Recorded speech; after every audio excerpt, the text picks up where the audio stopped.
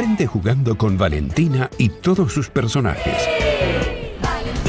Sábados y domingos a las 7 a.m. Disfruta el verano en Mira TV. Somos diferentes.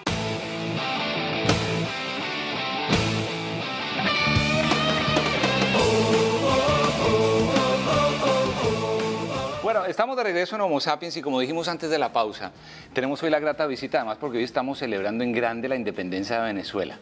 Y qué mejor que justamente de nuestro Mira TV, un muy venezolano, que es uno de los periodistas más respetados, también controvertido, controversial, todo lo terminado en al, pero una persona encantadora que tiene una historia de vida fascinante, es Leopoldo, me he dicho el citizen, el ciudadano Leopoldo Castillo está con nosotros hoy aquí en Homo Sapiens.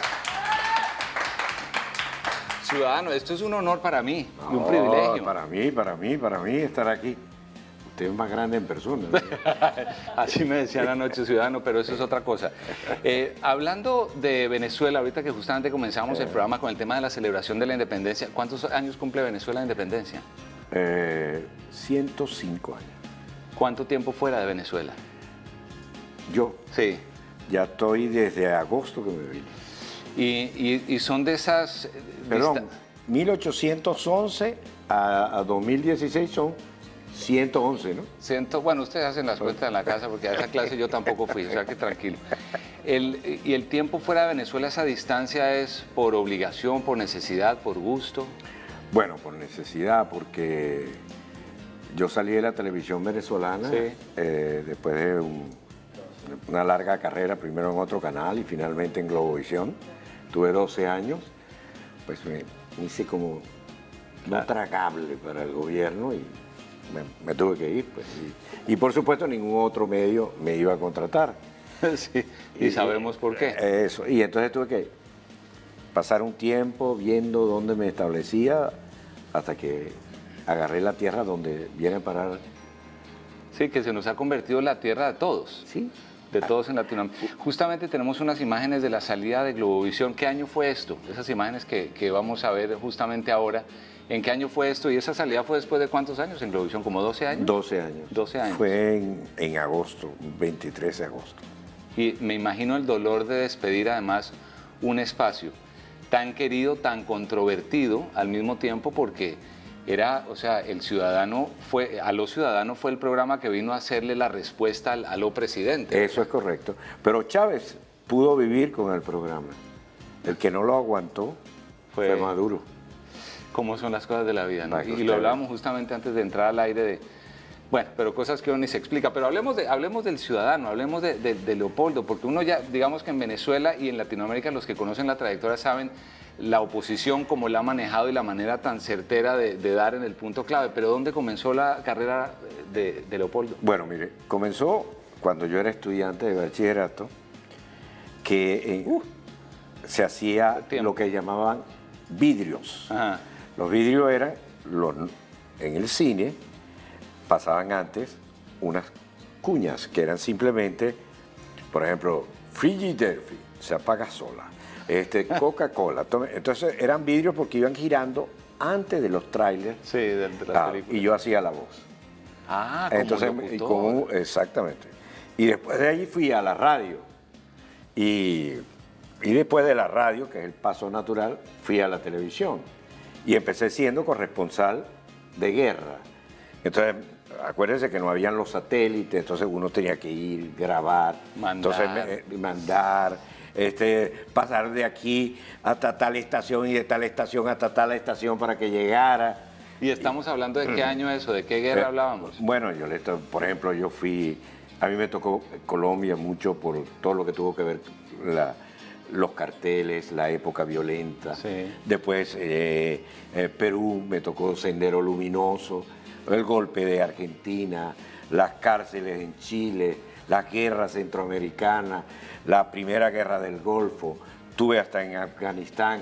Entonces, de corresponsal de guerra, poco a poco me fui convirtiendo en un periodista de, de- de opinión en un canal que se llamaba Venevisión y ahí pasé 13 años. Y, y todo ese tipo de cubrimiento y de estrés ¿eso no, no viene a afectar la salud finalmente del ser humano. Yo creo que afecta la salud y la, y la familia de uno. Sí.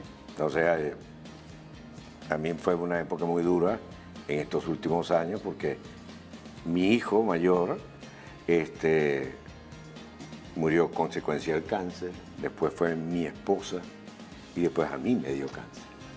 O sea, sobreviviente de cáncer. Sobreviviente de cáncer. Entonces, como que quiero decirle, pues, eh, es una carrera que te agota y muchas veces las personas que están detrás de las cámaras no se dan cuenta el esfuerzo que es hacer un programa como esto, todos los técnicos, sin los técnicos, sin los coordinadores, sin los productores, esto no sale al aire. Y después a uno le toca dirigir la orquesta. Sí, sí, sí, claro. Eh, dirigir la orquesta y aunque uno se sabe la partitura completamente bien, tiene el problema de que cualquier cosa puede pasar.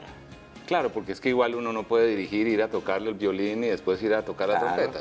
exactamente. Entonces, esto, por más que usted está pasando un rato divertido como Sapiens, siempre lo pasamos, siempre, pero el grado de tensión que significa hacer un programa de televisión no, lo viví hace una semana y pico que terminé en el hospital. Ustedes me van saliendo en la ambulancia. Claro, venía yo llegando y veo a la gata sentada en una enorme ambulancia roja que me hace así. yo, ¿qué pasó aquí?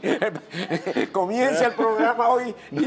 no, y, además el ciudadano dice, esto sí la supieron hacer. Esto para comenzar el programa hasta ambulancia trajeron. Sí, yo dije, pues, tengo una forma de llegar al rating, ¿no? Arrancaron ambulancia. La pregunta obligada de todos los que han hecho radio y televisión, ¿cuál es es más fascinante?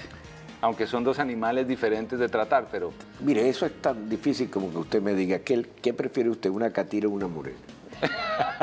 bueno, esa, esa, de repente podría ser más fácil dependiendo de cierto... que va.